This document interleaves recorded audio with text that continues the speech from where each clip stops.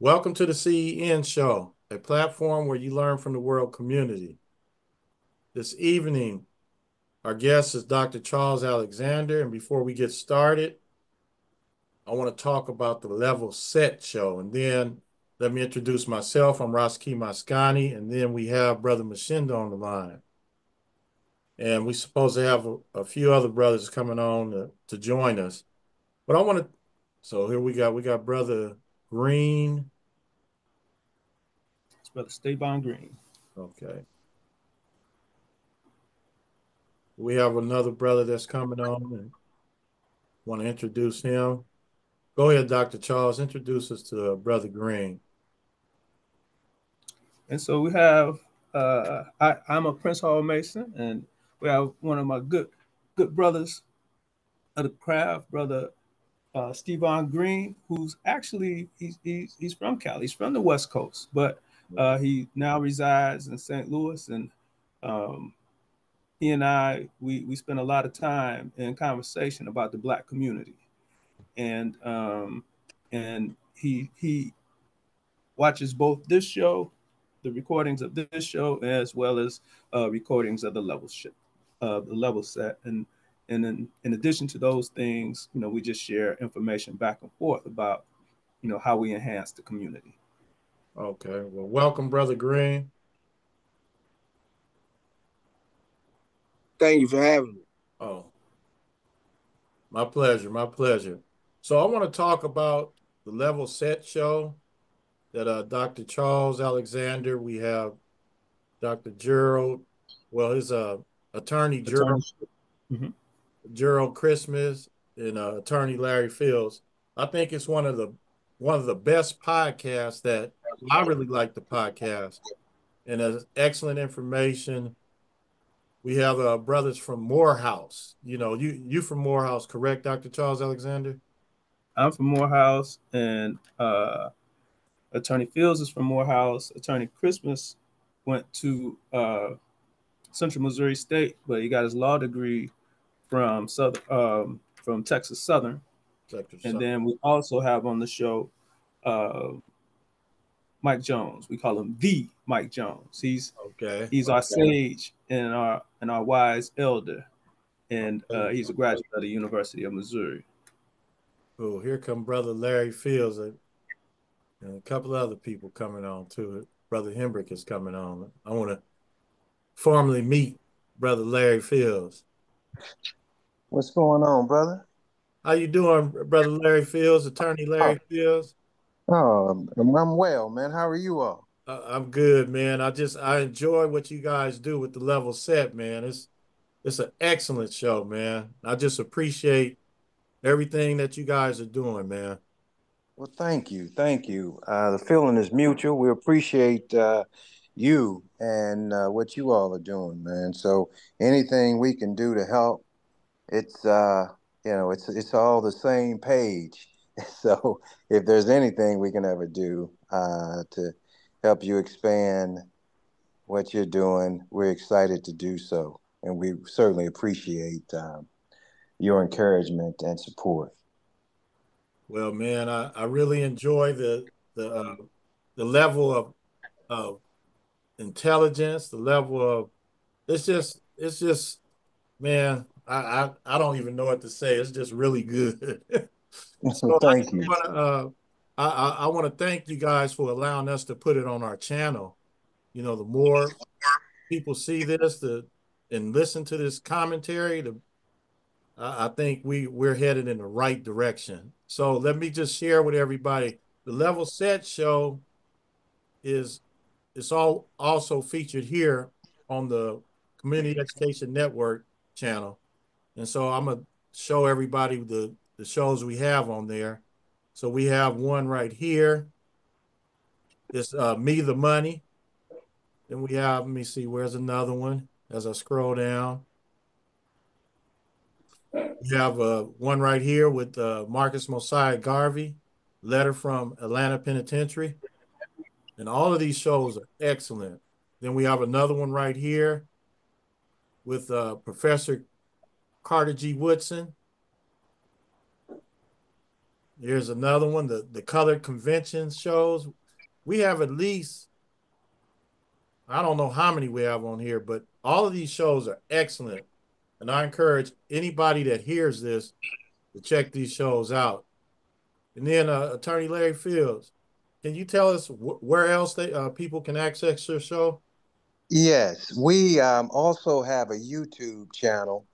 It is uh, the the level set uh, on YouTube. Okay. So there's another another uh, place to access the show in its original home. we're just we're just extending it. That's all. But uh, I'm gonna go ahead and get started. We also have joined here. Uh, Brother Hembrick is here, so that's one of our our uh, members that's from Conscious Corner with Professor Amin Ra. So now, Dr. Charles Alexander, we want to get started here. And please tell us your title of the topic this evening, and then you can go ahead and start. Thank you, brother. Uh, good evening, family. Good evening, community. Um, as as Black as uh, Black History Month comes to a close, um, I wanted to do something. You know, Brother Ryan and I had this conversation um, a couple of months ago about me presenting this month, and uh, I, I, was I was working on a different topic, but uh, actually, as this kind of comes out of some of our conversations on the level set, to be perfectly honest, that you know we've been spending a lot of time going back and forth with Carter G and with Frederick Douglass. And so, you know, again, just to, to make sure everybody's on the same page, the, the, the reason the Black History Month is celebrated in February is because Carter G wanted to recognize uh, Abraham Lincoln and Frederick Douglass.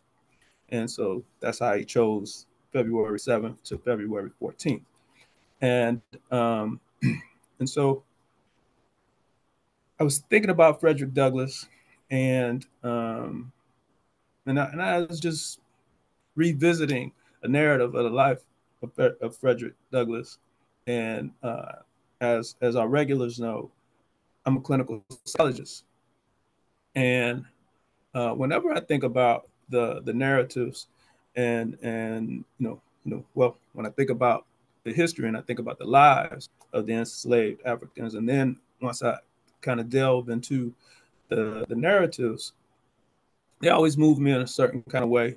But one of the things that I hadn't really done in, until this month, I, I started to think about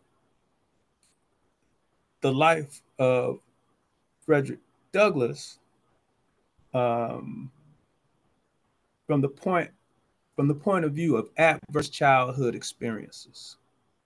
And so that's what I want to talk about today. So the so what we're going to talk about today is, you know, instead of the narrative of the life of Frederick Douglass, we're going to do a narrative of the trauma of Frederick Douglass, and we're going to frame that within the context of adverse childhood experiences. And so, brother, can I share my screen? Is that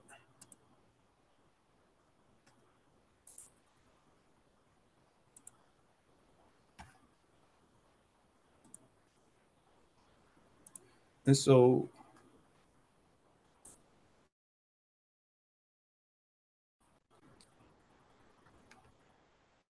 So just to kind of kick it off, you know, we're going to craft. This is going to be our framework. This is what I want you to be thinking about. Um, can you all see the screen?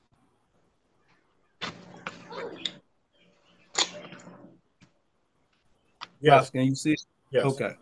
And so I want folks to be thinking about adverse childhood experiences uh, as we read various excerpts in the life of uh, Frederick Douglass, and um, and you know, and we'll pause here and there to to get some reflections. But adverse childhood experiences, or ACEs, are potentially traumatic events that occur in childhood, birth to 17. example, experiencing violence, abuse, or neglect, witnessing violence in the home or community, having a family member attempt or die by suicide. Also included are aspects of the child's environment that can undermine their sense of safety, stability, and bonding, such as growing up in a household with substance use problems, mental health problems, instability due to parental separation, or household members being in jail or prison.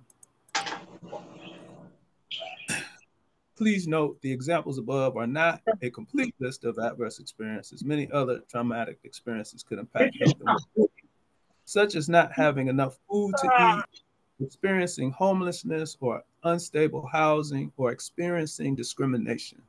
ACEs are linked to chronic health problems, mental illness, and substance use problems in adolescence and adulthood. ACEs can also negatively impact education, job opportunities, and earning potential. All right. So just be thinking about that. But as as you contemplate those things, like before we even dive into the literature, like how many aces are people conceptualizing when they think of the life of Frederick Douglass? Just so just knowing what we call aces now and and considering what you already know about Frederick Douglass, you know, let's let's get a quick tally about what we think are some of the aces for Frederick Douglass.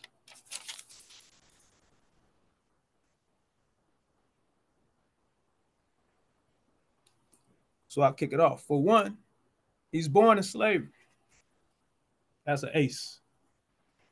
What else do we know?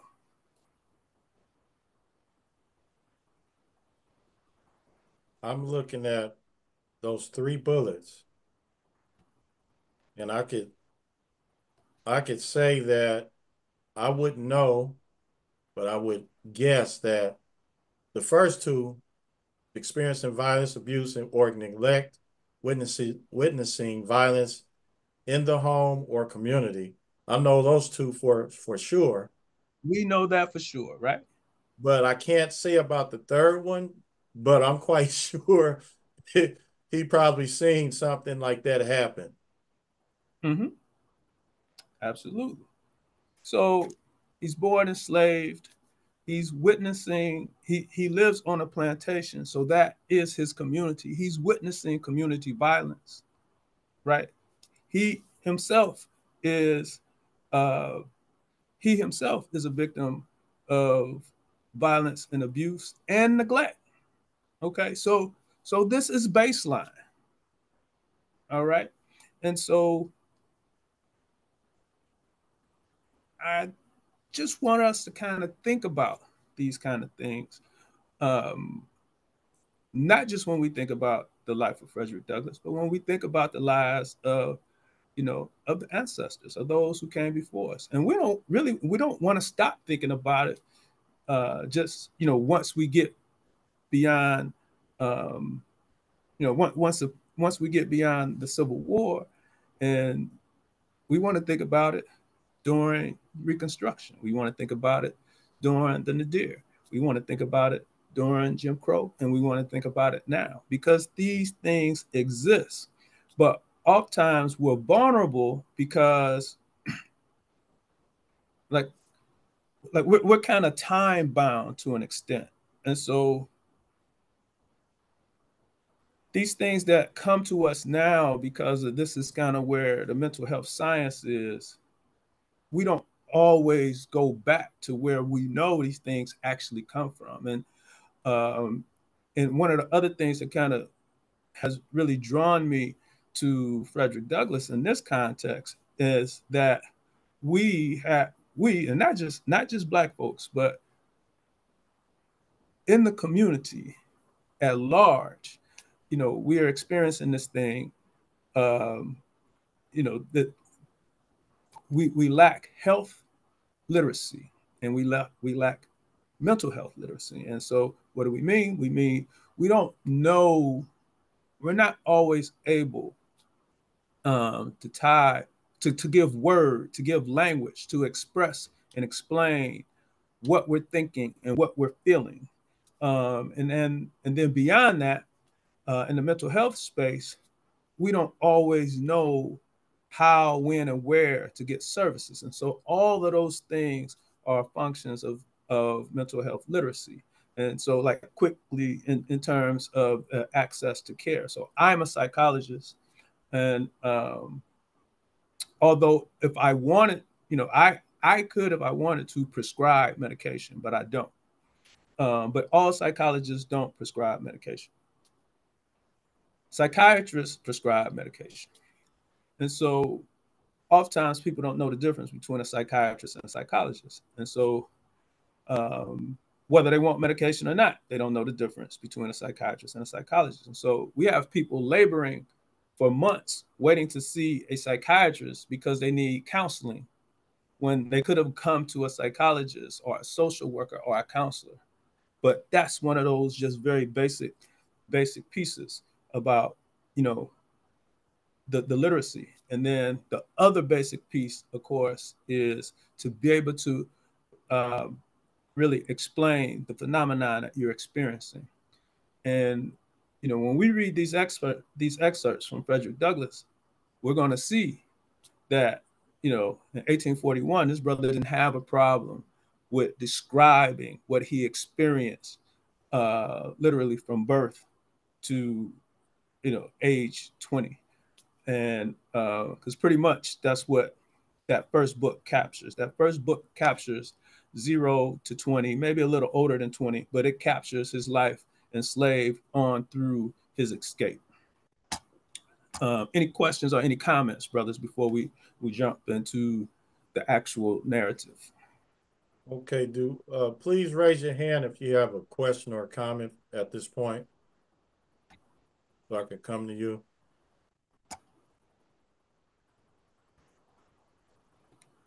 Okay, nothing so far. All right.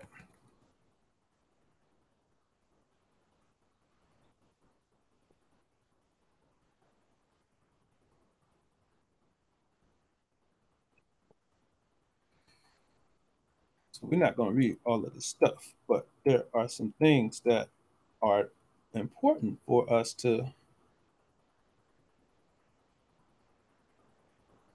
some things that are very important for us to note.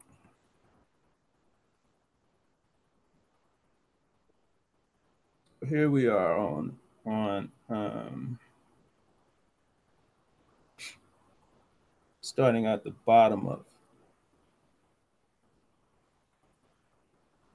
starting at the bottom of page nine, carrying over to 10. My mother was named Harriet Bailey. She was the daughter of Isaac and Bessie Bailey, both colored and quite dark. My mother was of darker complexion than either my grandmother or grandfather. My mother, my father was a white man.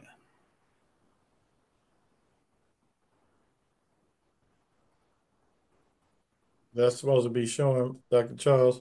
Can you see that? No, we're still on the aces. Still on the aces? Okay, let me come out and let's see what happens. Because I've switched. I don't know if it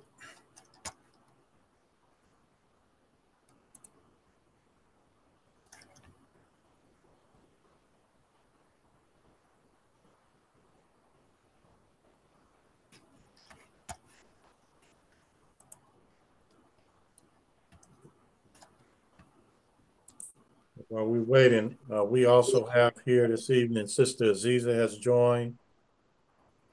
We have uh, uh, Sister Linda Shorter is here also. And then we have UMA. Is that is that Brother Kwabena? Or Dr. Charles? I'm not sure if that's Brother Kwabena. All right. So now, do you have? Are you seeing the book now? Yes. All right. Sorry about that.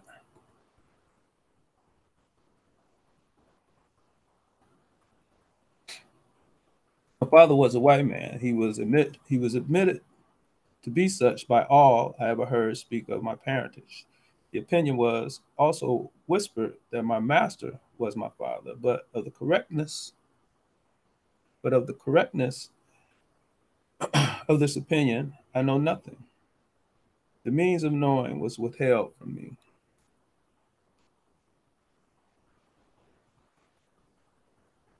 The means of knowing was withheld from me. My mother and I were separated when I was but an infant, before I knew her as my mother.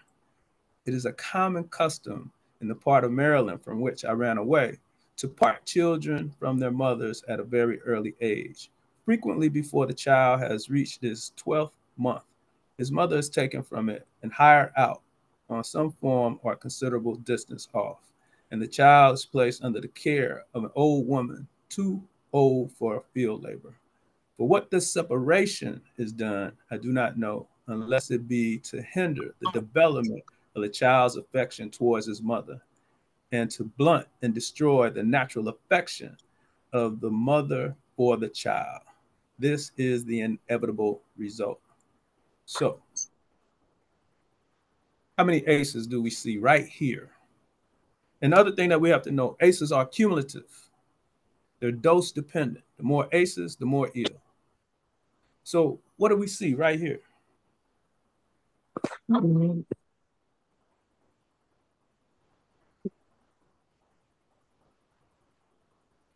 Anybody? You would have to go back to that screen. to the aces? Yes. I'll, I'll, I'll go ahead and go if you don't mind. Go ahead. Um, first of all, what a brilliant analysis. I see what you're doing. And, you know, that's why you have a um, small circle of friends, Charles. Um, you know, you I'm, I'm, I'm, well, that's why I'm the only one that likes you.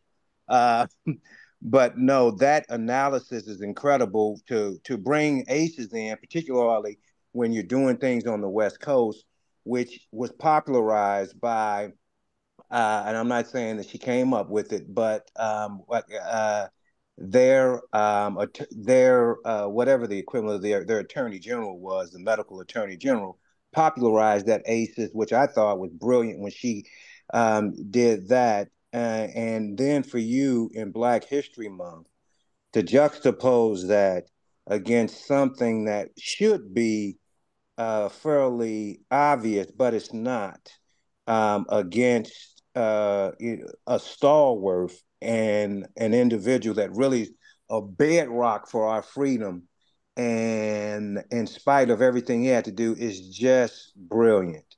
That is i mean it, it could be expanded to you know a white paper a book a series or anything. But when you since you've made us turn our attention to that it is excruciating. I'm sitting here with my wife and i asked her when you you know just based off of that passage that you just read which one of our children would have thrived in that environment? And you can imagine you know a woman that nursed all four of our children what her expression was. She never had to utter a word and just the trauma that uh, he had to endure and you know his entire community our entire community our ancestors. You know this week i've almost had the theme of what you know has there ever been a better time period for black people to exist in america? Um, what era would i rather go back to if any? And, and and i can't think of one but you know as i'm thinking um, there is so much to unpack here um, you're sending me to about four or five different books now um, you know just you know i just want to comment on how brilliant analysis that is and just uh, what a great diving point you you created.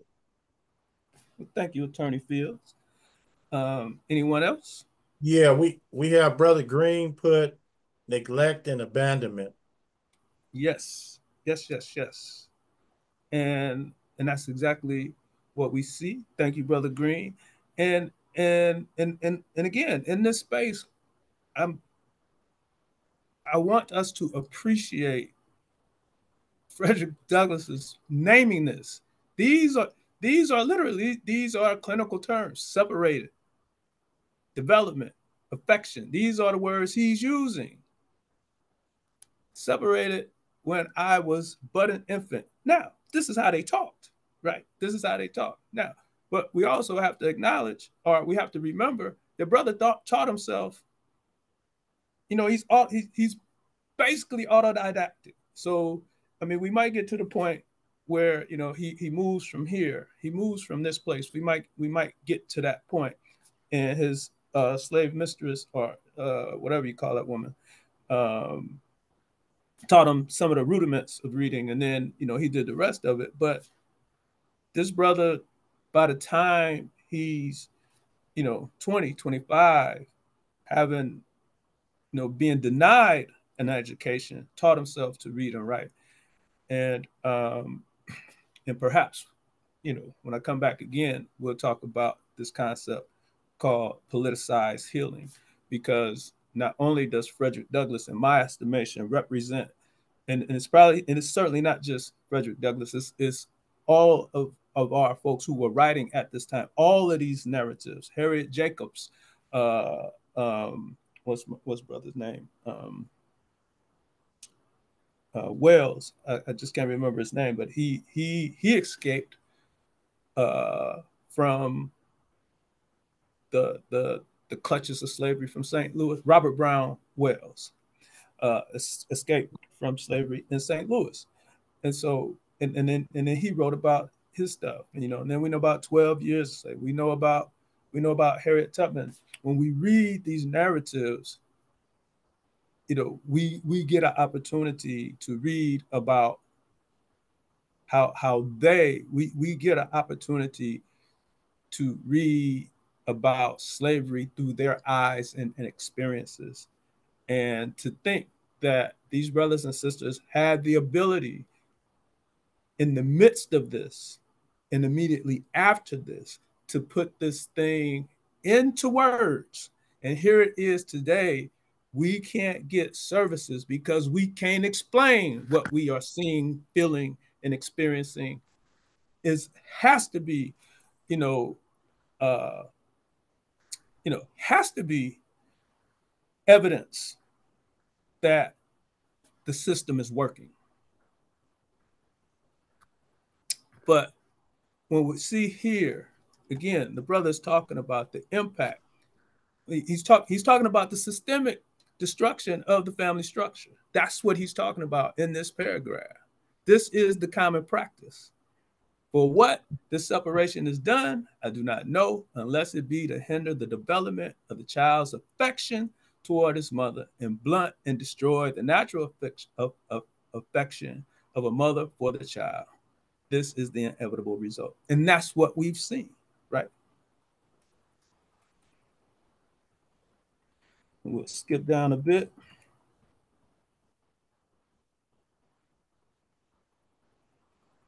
I mean, this point here is important. I never saw my mother to know her as, as such more than four or five times in my life. And each of these times was very short in the duration and at night. So his mother was placed on another plantation. And so she risked, she literally risked her life um, every night to go spend a few minutes with her son. Let's see here.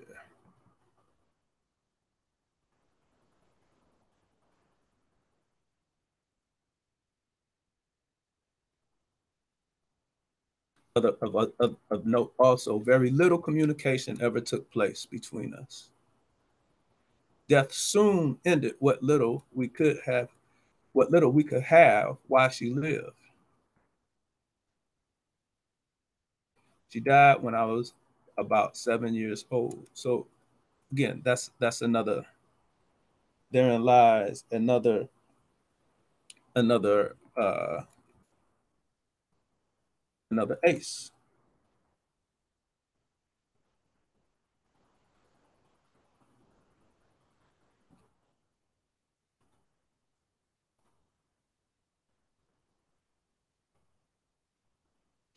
Let's see.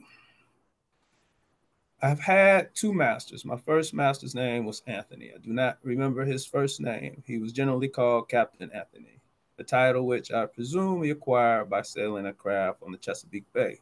He was not considered a rich slaveholder, He owned two or three farms and about 30 slaves. His farms and slaves were under the care of an overseer. The overseer's name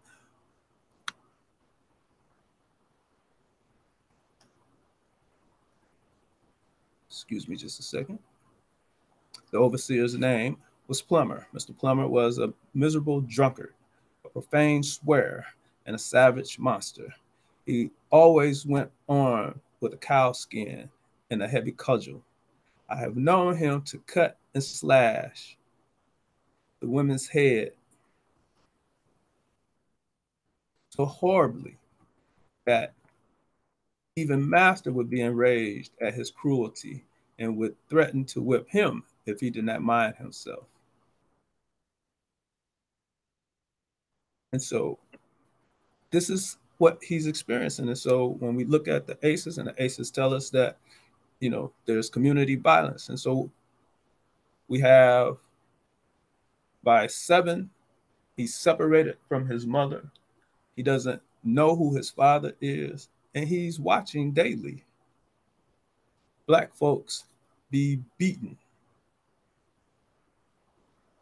This is the life of Frederick. That This, this is the narrative. This is the narrative of his trauma.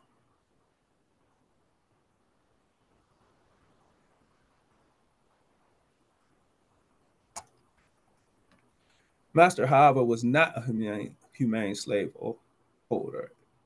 It required extraordinary barbarity on the part of an overseer to affect him. He was a cruel man, hardened by a long life of slaveholding. He would at times seem to take great pleasure in whipping a slave.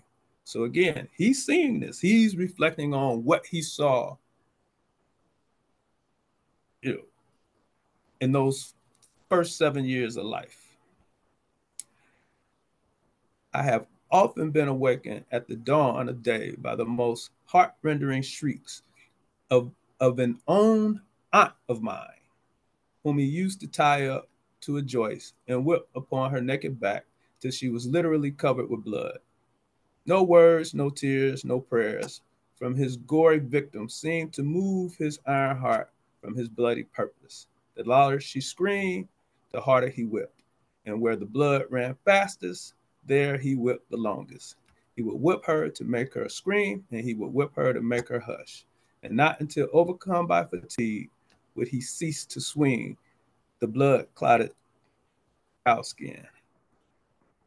I remember the first time I ever witnessed this horrible exhibition. Brothers and sisters, he was a child watching his aunt get beat. That is a, that is, this is the onset of this is this is what got me. This is this is the onset of the concept of ACEs. This is the onset of of uh, historic trauma. This is the onset of PTSD. So all of these things that we have words and titles for, Frederick Douglass captured all of these things in 1841 when he wrote his first book, when he first when he wrote his first narrative. That's what it is and he gives you very vivid detail. And we know, and so we know that this had an impact on him. I remember the first time I ever witnessed this horrible exhibition. I was quite a child, but I well remember it. I should never forget it while I while whilst I remember anything. It was the it was the first of a long series of such outrages of which I was doomed to be a witness and a participant. So when he says he's a witness and participant, what comes to mind for people?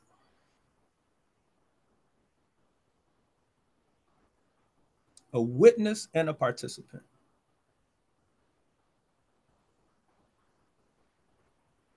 Oh, don't know. I, I, I don't. I hope that he did not view his physical inaction as acquiescence. but you know, seeing the abolitionist that he became, I wouldn't be surprised that he did. But at seven, there's very little you can do against you know adult males with a full artillery of weapons and a superpower of you know barbarianism. So i mean but but that's what comes to mind. He i mean it appears that he is being you know almost self-loathing because we know he did not uh, uh, cheer these floggings on. And and attorney Fields, that's what comes to mind for me. And but i'm of the belief that like i, I don't necessarily think he's blaming himself but i do believe that he's trying to capture you know the purpose of the the purpose you know the the enslavers purpose of public beatings is to create that feeling. The purpose of public beatings was to paralyze the rest it's it's the the public beatings during slavery is the same is, is the same thing that we see uh really the same thing is is with, with Derek Chauvin. And so the point, it, a great example. And so the point is to show the subjugated community the inherent power differential. And so he speaks to that in in in other book other parts of the book. And so Dr. Go ahead. Charles, yes. Can I can I interrupt here? Absolutely. When I'm see, this is why I don't like watching certain movies mm-hmm. because it it brings something out of me that's really not cool. you, you know, just to to hear this type of, you know, I, I know that they had what was called the dehumanization process. You have mm-hmm. slave breaking and things of that nature. And just to to kind of fathom that these people are this e they're this evil. And it's and it's on display right now in Palestine and in Israel the the evil. And I just so I want to go to the panel because I, I, get I get a little beside myself when I'm hearing things like this. So I want to just kind of get the panel involved. Mm-hmm. I'm gonna go to uh, we have a I wanted to go to some of the new people that's here, like Brother Green. Brother Green, you you have anything to say or or you have any questions of, of Dr. Charles? uh, I don't have any questions. It, it's a there's a song Ice Cube had back in the early '90s, and he made the statement in the song. He says, "Can you tell me who unleashed our animal instinct?"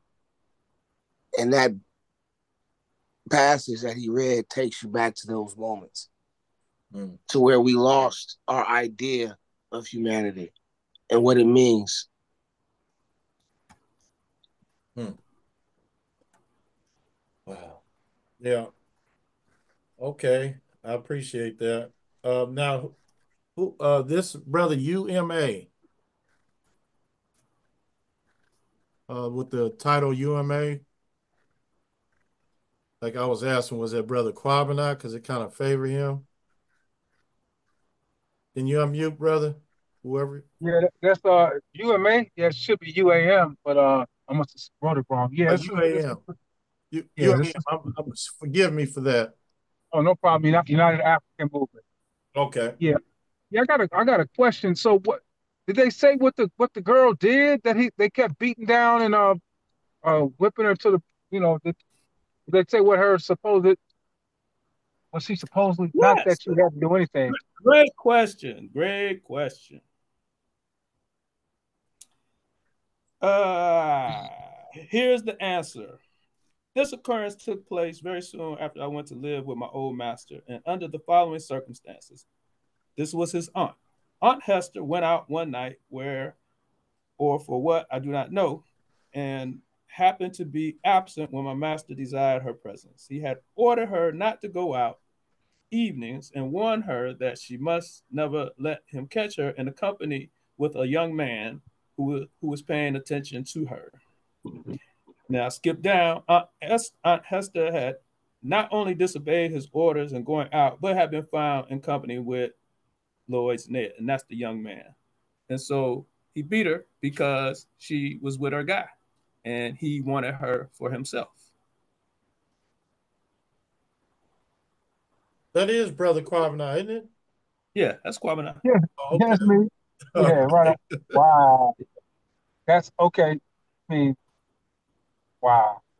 I mean, that, that even adds on some more to it. He beat her because he was wanted to continue having her as his concubine or whatever. Why? That's his concubine, correct? Correct.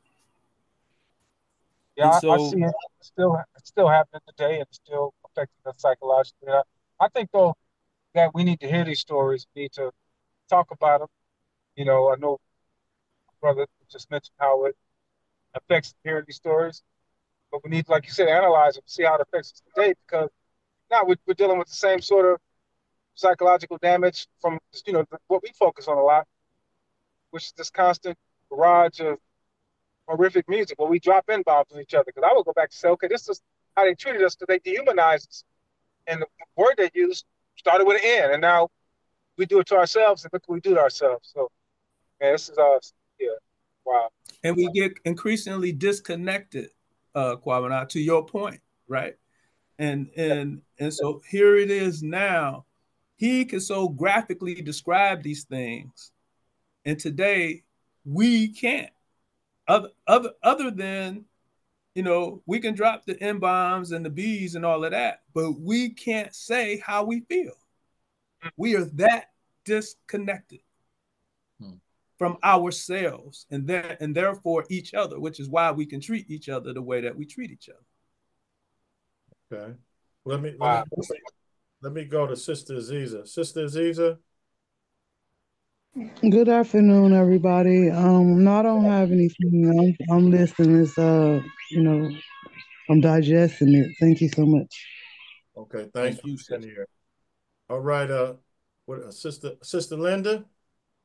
Oh yes, I'm here, and um, I don't really don't have any questions because this is so interesting to me, and I wanted to see how he was going to go from perspective of ACEs with Frederick Douglass because I, have I've heard about ACEs a couple of years ago, but mine was from a total different perspective because I adopted a child, and there is a black woman, a doctor who talks around the country about ACEs, and you're probably familiar with her. Um, she was on TED Talks, and she was explaining about children who have been adopted and who've gone through foster care and because when I adopted my child, my first child, because of abandonment and um, neglect.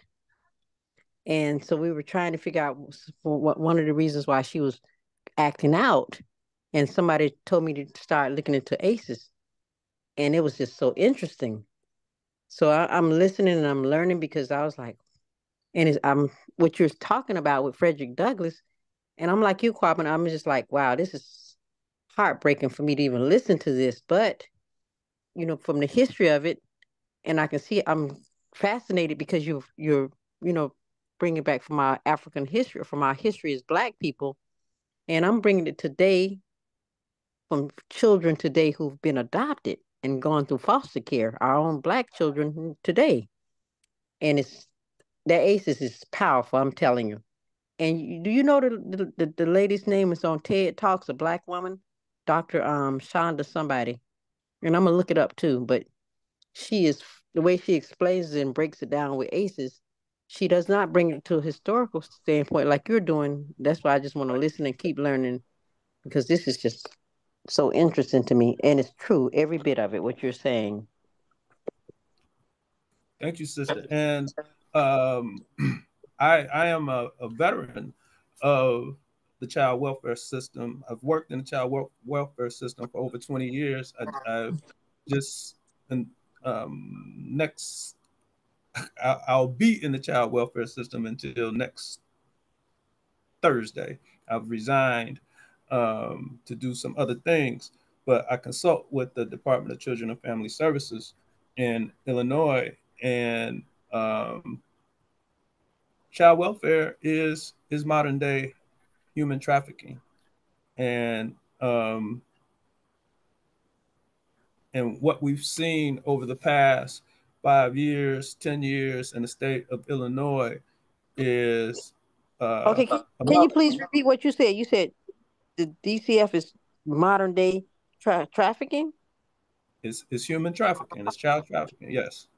And what and what we've seen in the state of Illinois over the past 10 years is so there, there is a group of us who, who work for the state who, if, if again, if we do an overlay with uh, with what, you know in our context with Frederick Douglass, you know, we, we reasonably be be considered, you know, the underground, um, you know, and you know, and then there are some some some white folks who you might consider to be abolitionists, but as we fought for you know rights for you know for our our youth and care, you know, one by one, folks have been fired or forced to retire. Now, I wasn't either. I, I resigned because we we were, I, you know, the state just does not deal.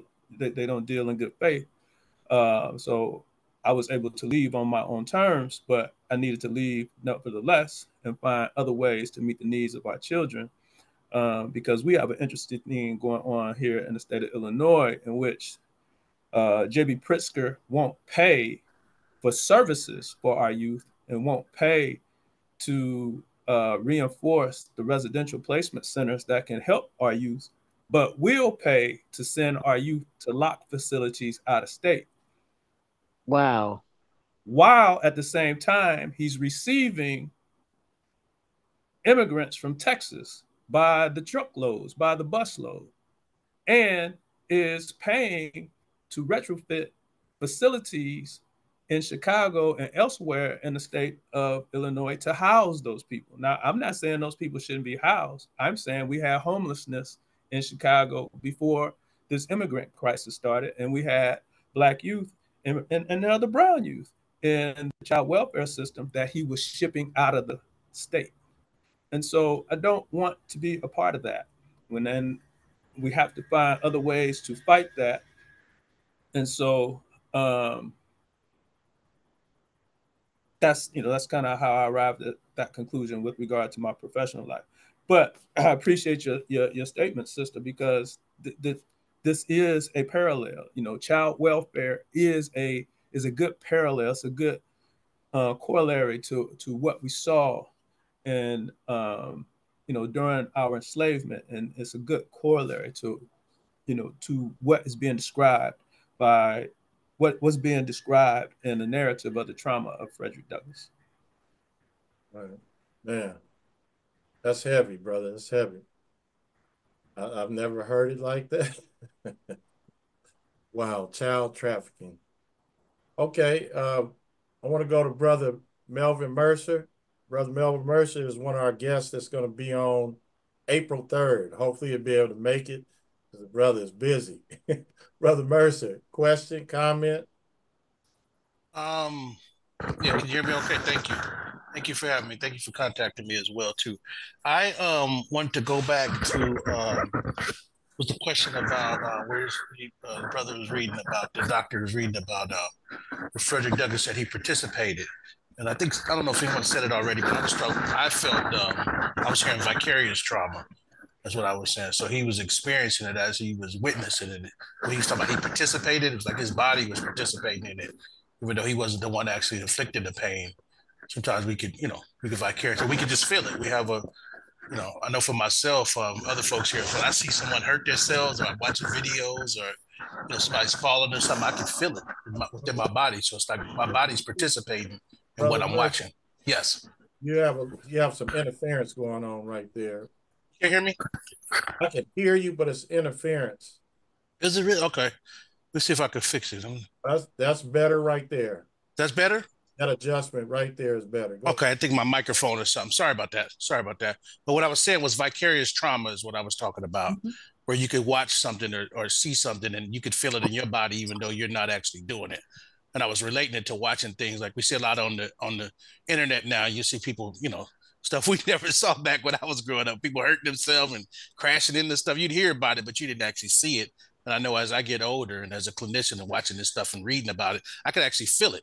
So I watch somebody break their leg or hit their toe or something. I could feel it in my body. And I thought that's what he was saying when he said he was participating um, in the beating of his aunt. I think it was his aunt the brother was reading about. He could feel it in his body. So it's like he was actually involved in it, even though he wasn't perpetrating this on her. I think that's a I think that too is a is a great point. And and with vicarious trauma, um, it, it occurs in the manner that you that you're sharing, brother uh, brother Mercer. You know, you you can observe it, you can hear about it, right? Um, you can read about it. You know, those you know those things can be sources. You know, those those are exposures, nevertheless. So even though you're not the person actually experiencing it, to witness it, to hear about it, um, you know, or to read it, can be traumatizing. Correct. Yes, and, yes. and, and those things could be vicarious trauma. Very much so. And, if I can get one more brief example, real quick. I'm sorry. Can you guys hear me okay with no interference? Yep.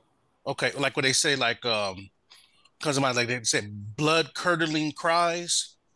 Right. Mm-hmm. So you hear somebody screaming out or you hear you ain't even seeing it, but you just hear it. And it talks about how your blood will curdle or how your body will react to it. That's what I was hearing as well, too. So you know we're around it, but just to hear it, you know, somebody in pain or something like that, through your body and your has a physical reaction to it. That's what I was hearing when he was talking about participating. So that's what I took from that. Absolutely, brother. So, uh, and, and that's the other piece of this thing that we always have to, you know, be mindful of.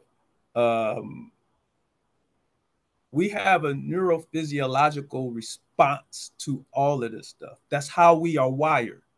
That's how we're built. It's a safety mechanism. It has an adaptive function, and the adaptive function is to move us towards safety. Right now, what he's exp- what he's what he's de- detailing here is the inability to escape it, and so at that point, the stressor the stressor is chronic, and that's what we're getting from Frederick Do- Frederick Douglass. Ex- excellent point, brother Mercer.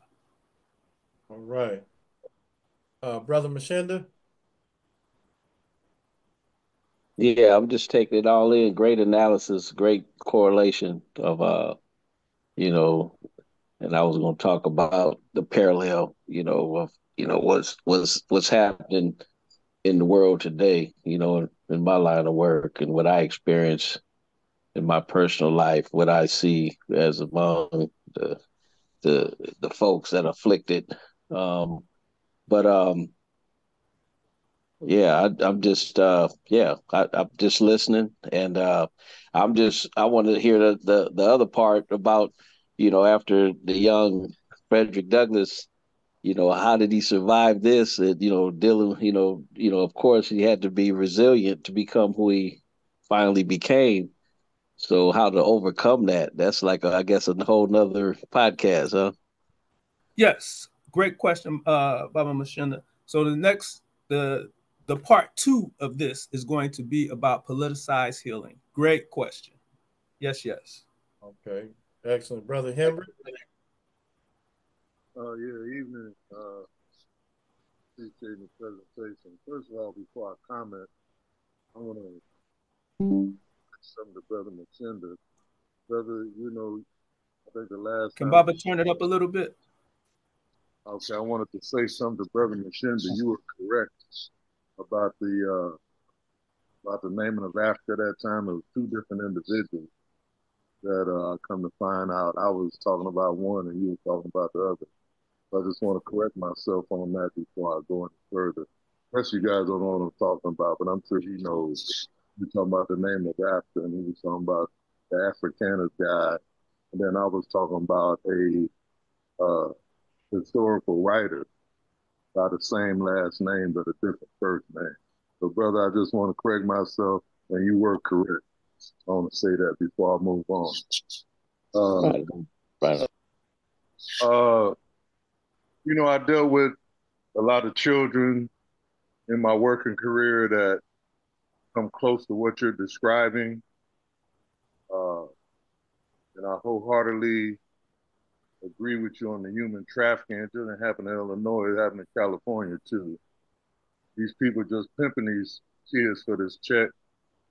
And these kids are going through all kind of uh, psychological, sexual abuses as they grow up. And then when they grow up, you know, it's like we talked about, like a tree without roots, and the roots are all messed up. And I kind of, I kind of want to go to what kind of can help somewhat heal them from the experiences that they've been growing up with. And it's a tough battle. Uh, I tried to get mental health services at the school I worked at for about 20 years, could never get nothing going. Uh, trying to deal with all the academia stuff, but I know that's a heavy uh, thing that our kids need. But I also experienced that when some of these students, you know, uh, can get kind of rooted in their true history if they learn it at all. It kind of helps out a lot. It doesn't bring them all the way back to where they need to be, but it gives them something to focus on other than what they've been growing up experiencing.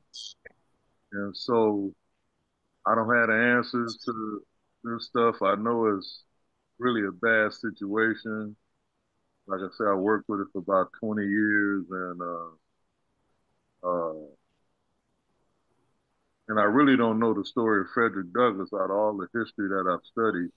I've never really even read a book on him uh, at all, so I don't know. But I want to mention an early brother uh, named David Walker. He wrote something called David Walker's Appeal. I think it was like the 1820s when he wrote that. And so that's the earliest writing I know of someone who had been through the slave experience. And so I'll just leave it at that. Appreciate you, brother. Thank you, brother. Uh, David Walker's appeal is also a, a must read. Yes, yes, indeed. Um, uh, Rock, I, I want to read this last little piece regarding the, this this last the you know his his uh, witnessing of his aunt because it, it kind of encapsulates really everybody's comment um, as to his thoughts on witness and participant. I was so terrified and horror stricken at the sight that I hid myself in a closet and dared not venture out till long after the bloody transaction was over. I expected it would be my turn next. I expected it would be my turn next. It was all new to me. I had never seen anything like it before. I had always lived with my grandmother on the outskirts of the plantation, where she was put to raise the children of the younger women. I had therefore been, until now, out of the way of the bloody scenes that often occurred on a plantation.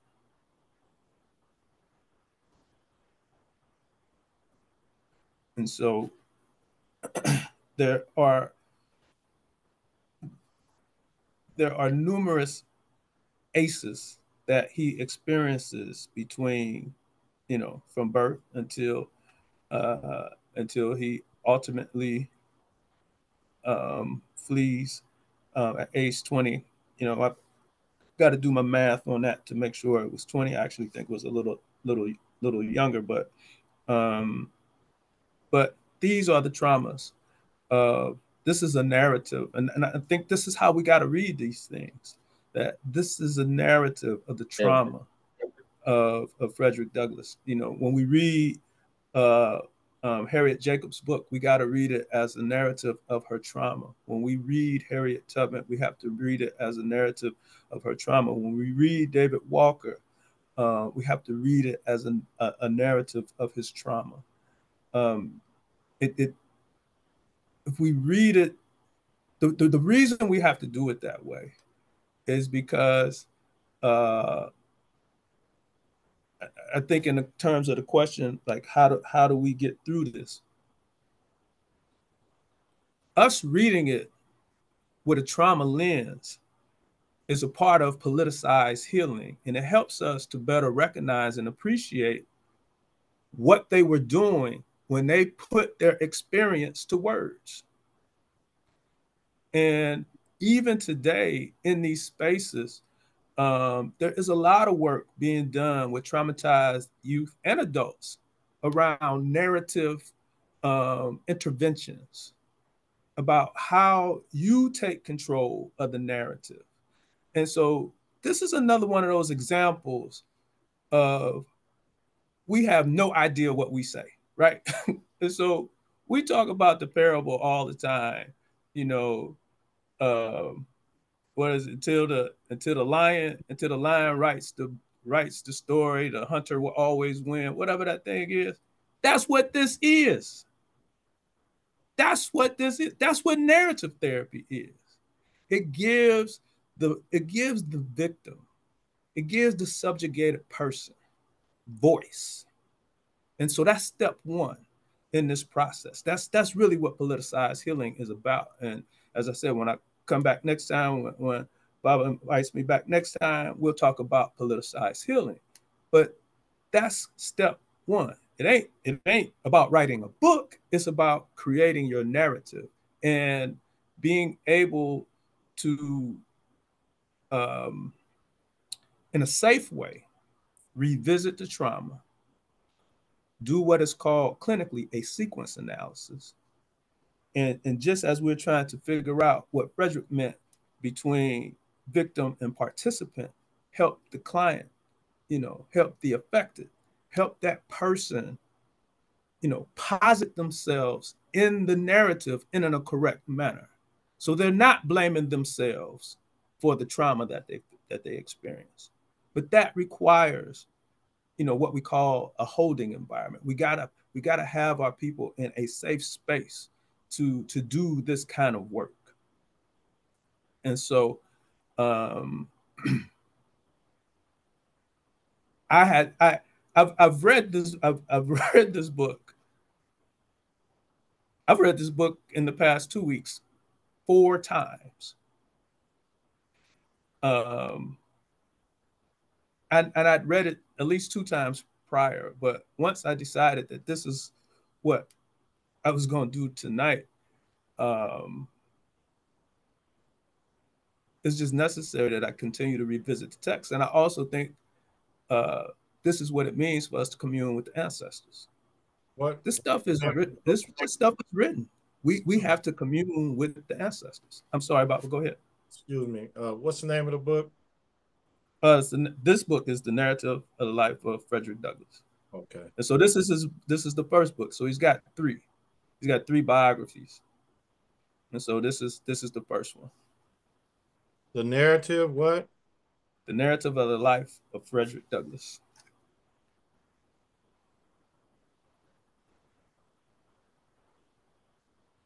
Okay.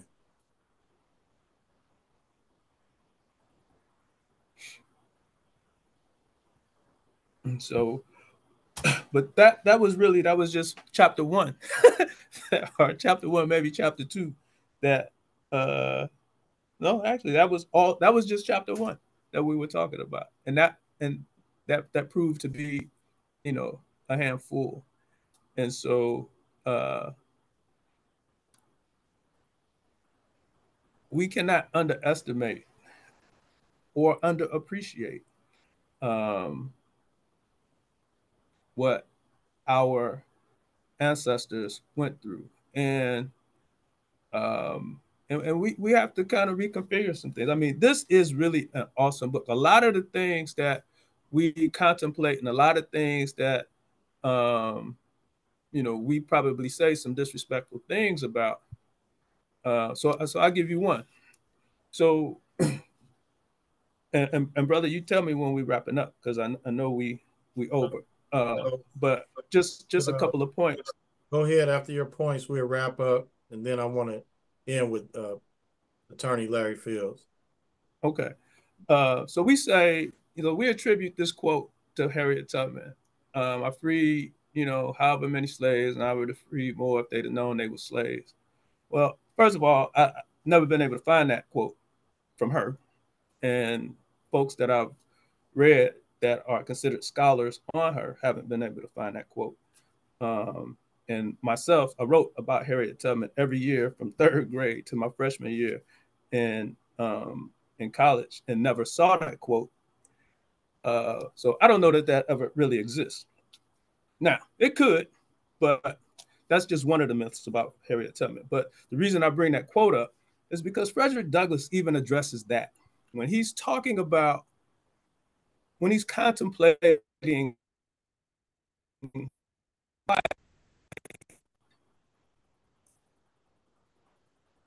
there are many reasons why people wouldn't flee. One was where we gonna go. Two was what happens if we get caught.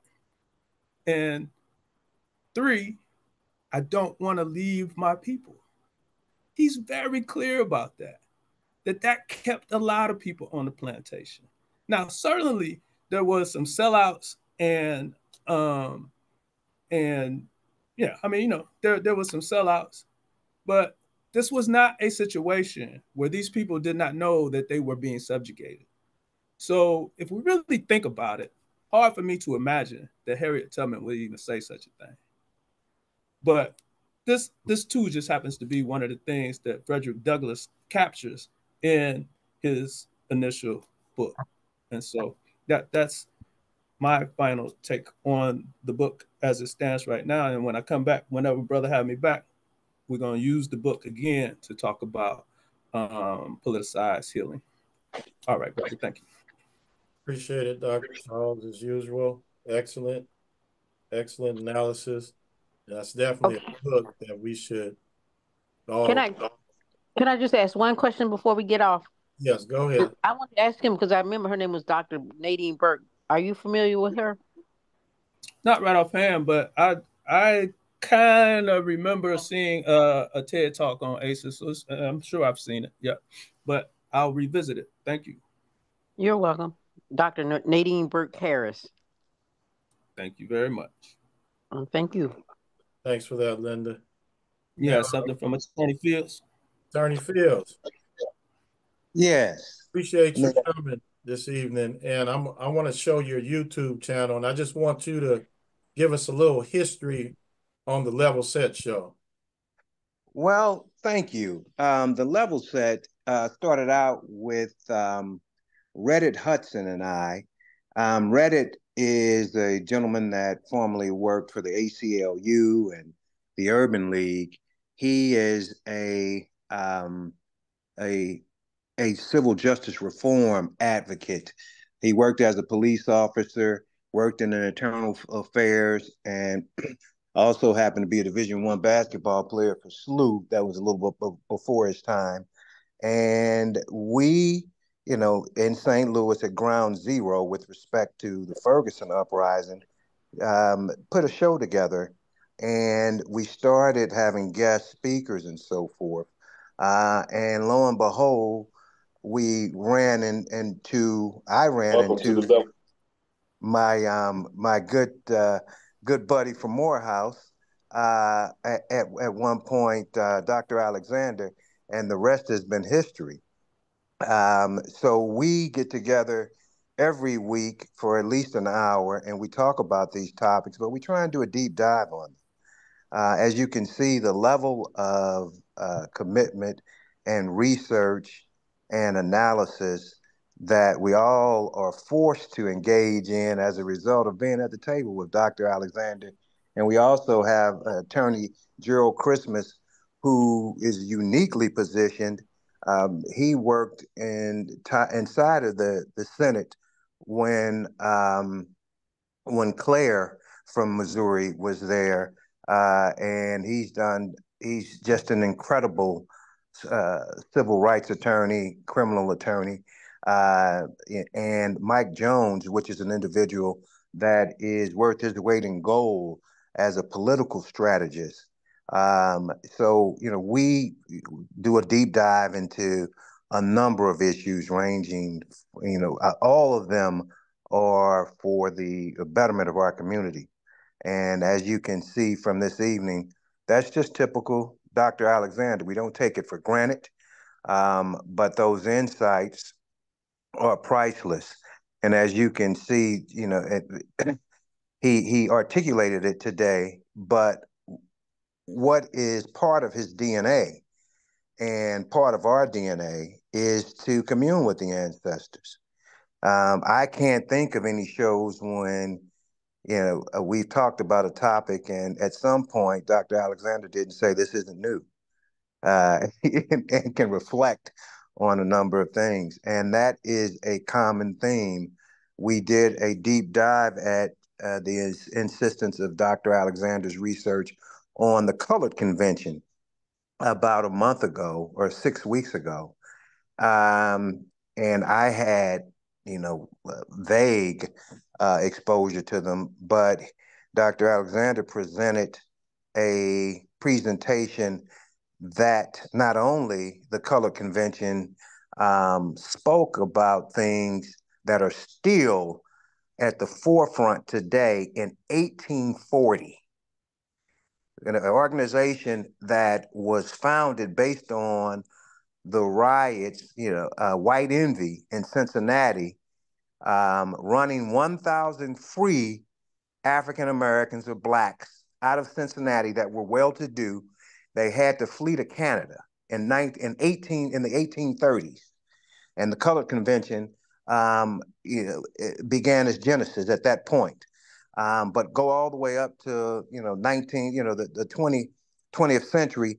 They're the ones that charged. Uh, uh, we claim genocide in front of the UN. I saw that referenced um, a couple of times over the weekend for the first time. You know, people had the uh, uh, were referencing the actual charge of we charge genocide. You know, my point is is that we've got to do there. There really isn't uh, a look back, eh, you know, with respect to us because it's all one thing. You know, we we can we look back to find out where you know how we got to where we are but it's all so relevant. I mean, it seems like it's all you know that that movie that won an Oscar that nobody understood, every everything all at once really appears to be what's happening for us because all of those things from Frederick Douglass, who was also a member of the Color Convention, uh, uh, you know, Martin Delany and all of those guys, all of their work is more prevalent today than it was back in antebellum. So uh, you know, that gives you an idea. And I, you know, I, you keep doing what you what you're doing. If there's anything we can do to uh, further the tentacles of, of, of, your influence, we certainly will help. Uh, and uh, thank you for having me today.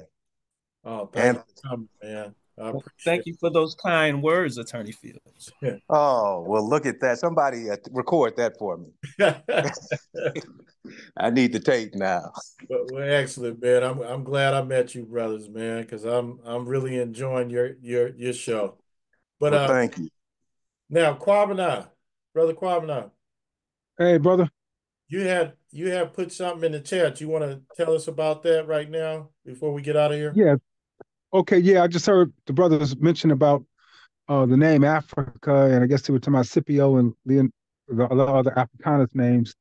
And it, ironically, I just saw a post that came up from Runoko Rashidi since we just did that piece on him last weekend, and where he addressed he addresses so many times of the names of uh, Africa and people questioning the name Africa. So I just shared that in the chat where he talked about um, the, the names of Scipio Africanus, the Roman general, uh, who engineered the defeat of the African nation called Carthage, and also Leo Africanus. And again, Africa is not named after the Roman general Scipio, nor is it named after Leo Africanus, a man who comes much later. He said, These are myths. And I repeat that these are myths. And so I just wanted to share that and how he shared his uh he he named the guy, that's where he was from. That's where he got that's why they put the Africa on on the last name. So not they didn't name it after him. So I just shared that because again, Runoko would constantly have to point that out. Right on. That's on the chat, everybody. Yeah, appreciate that. Yeah, I uh I'm, I'm aware of all the names that was called down through the different ages. Uh with uh with Alkebulan being the oldest and uh at one time they called the whole continent Ethiopia, down in South Africa, Mount Tapa, uh, Tamari, Sias, and Egypt, and all of that. So yeah. Um, let me just say this in terms of dealing with this psychological trauma thing. Um, and me myself, I like to study those those rebellious warriors that was out in the bush, and and those being some of the examples that we may try to use. I know it's kind of scary, but like Dessalines, Christophe, you know, the Mau Mau, uh, brother around in the Angola area called Mochis, and these type of brothers and sisters also, and what they did to alleviate that uh, foot of the European on their lives. So um, that's another story in itself. But like I say all the time, you know, we are behind enemy lines and we need to recognize that. And, uh, you know, when you're behind enemy lines, you got to resort to other things. You remember what Malcolm said about about a, about a guerrilla. All he needs is a rifle and a pair of tennis shoes, you know, to get it done. Um, but anyway, it's it's it's uh it's a tough situation. And then, you know, when you even go down that road, you got to worry about the ones that's in your camp, you know, dropping dimes and, you know, on you and whatnot about what you're trying to do. Uh, and like I say, we need to, you know, we need more planning and less ceremony about where we're trying to go. So anyway, that's it. Thank you. Appreciate it. Right.